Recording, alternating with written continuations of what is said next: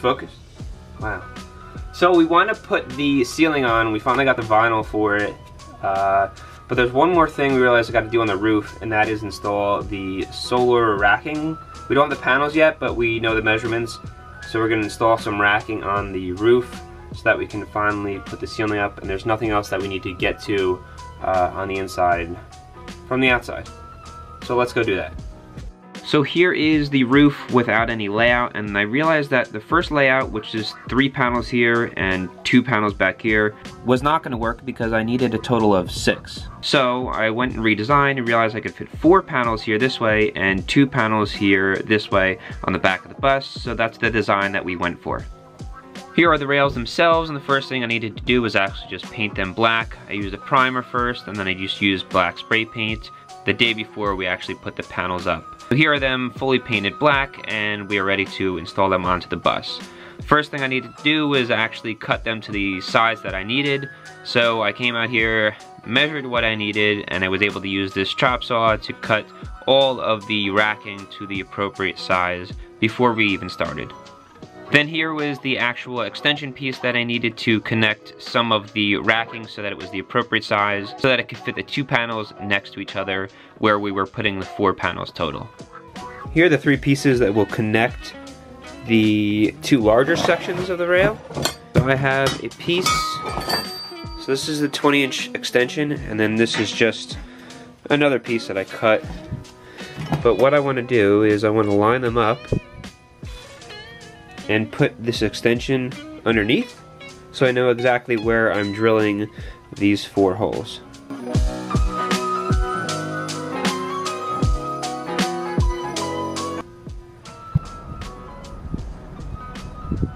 Oh, we're good? So after measuring on the roof, I have a few, had a few designs that I thought would work, but ultimately I came up with one that is going to fit at least six panels on the roof in between the fans and then behind the fan behind the fan on the back. So we have these rails that you can buy at Home Depot. They're just 12 gauge um, C channel or U channel and they're perfect for mounting the solar that we're gonna do on the bus here. And they're getting mounted to the bus through lag bolts that are gonna go through the roof and then through the actual hat channel uh, on the top of the bus. But in between, we're actually just gonna use a hockey puck as a mounting bracket. Um, you'll see what I mean when we go on the bus. And I've seen it on a few YouTube videos and it seems to be working pretty well. So, but the first thing we need to do is measure on the roof exactly where these brackets are going to be drilled through the roof.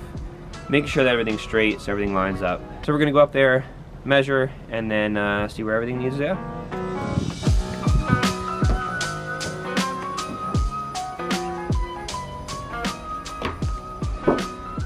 Come up. Come up, the water is fine.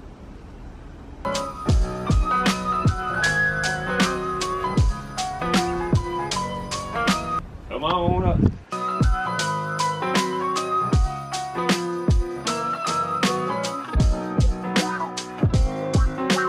we're gonna have three rails, one center rail, and then one on the outside to catch the sides of the panels. And what I'm measuring now is, what we wanna drill is three mounts for each one of the rails. And we wanna make sure it's in the very center of the hat channel so that we're drilling straight down into the hat channel.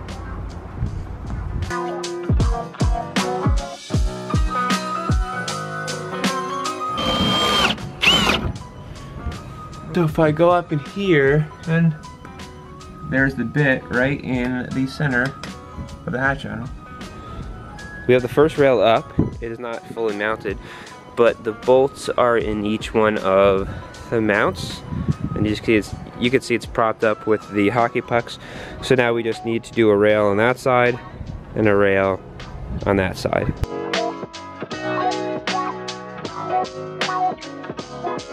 Here are the six extra holes for the three for each side for the racking uh, after they were drilled on the roof. We were able to start securing those two side racks on the larger section of the solar panels.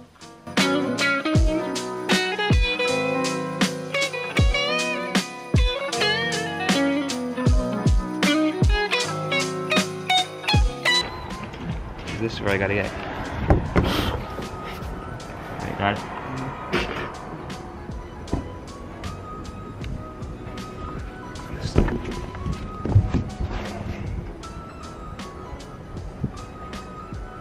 Not too much, but alright. Put down? Yeah. And here we are just applying exterior polyurethane sealant underneath all the hockey pucks so that we didn't get any water inside of the holes that we just drilled on the bus. So we have these three rails in the back. Again, one panel and one panel, and they just have two mounting brackets on each so we can seal them up and secure them. So the way we're securing them is just with the impact with a socket on the end. We're just attaching it to the nut itself and tightening it. And then from the other side, going down there and holding a wrench to the other side where it comes out on the hat channel.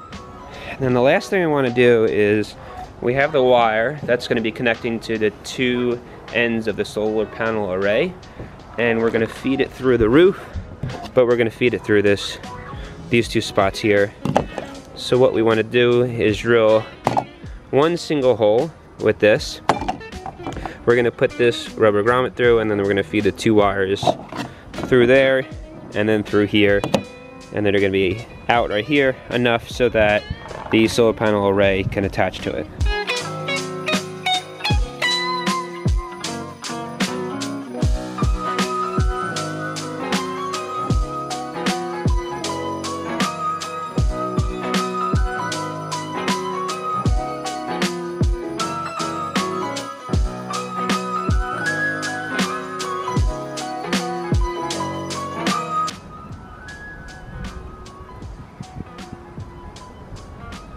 The wires come in here, and we need to get them from up there, down behind there, and the solar charger is going to be right here.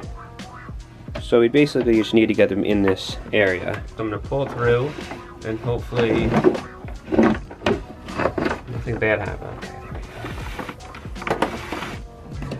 I can secure this to the top of here. And I'm just uh, kind of just pulling the wires through here, just explaining to myself that it's going to work, and it's going to work. But here is the final product of all of the racking on top of the bus. Uh, it turned out perfectly fine. Everything was sealed up just the way we wanted it, and uh, here is the final product.